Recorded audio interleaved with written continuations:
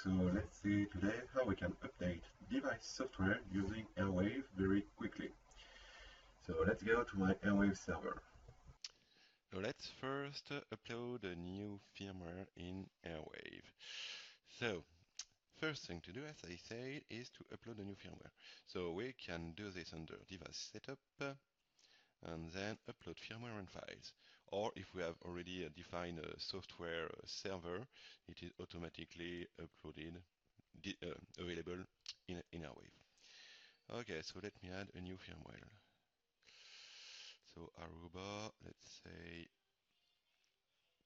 yeah, any model, yeah, okay. Description. Um, 7005, 6, 4, 4, 4, I don't remember. Okay, firmware and choose file.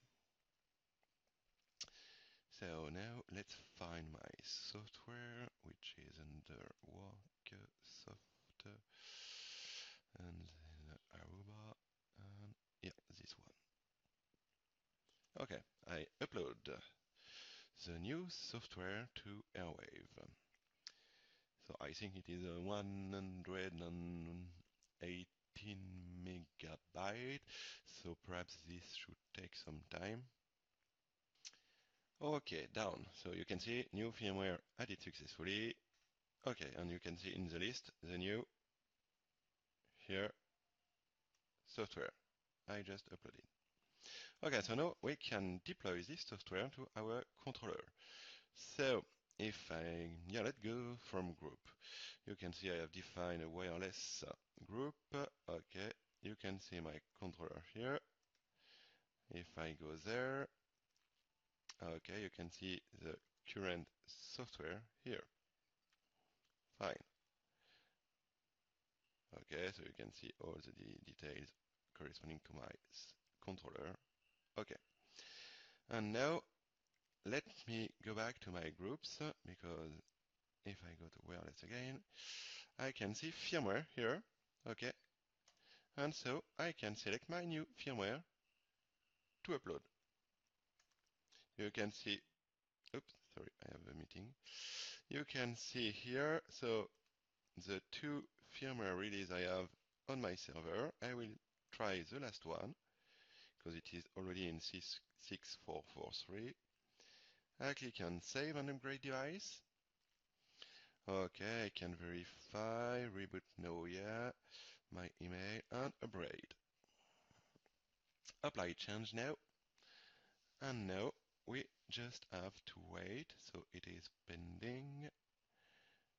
Okay, and if I select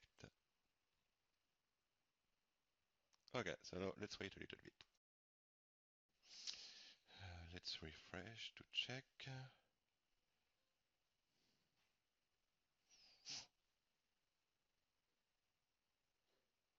uh, okay so it is rebooting so this means uh, because I don't have any more network because I was connected to my Wi-Fi. So this means that the controller is rebooting, and so yeah, so the device is update uh, was updated, and so it is rebooting. So now we have to wait uh, the um, controller reboot.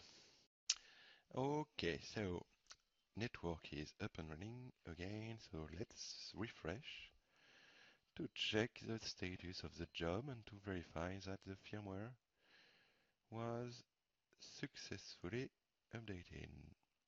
Yeah, perhaps uh, perhaps I need to log in again. Let me go back to the home page. Uh, that seems.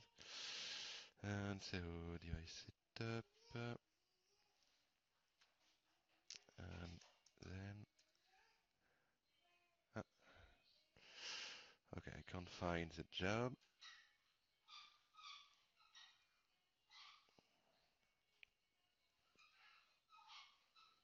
Okay, uh, in system.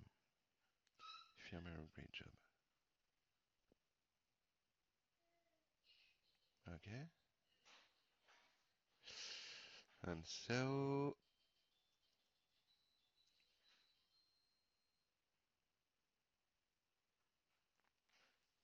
Okay, so it seems that it was successfully deployed.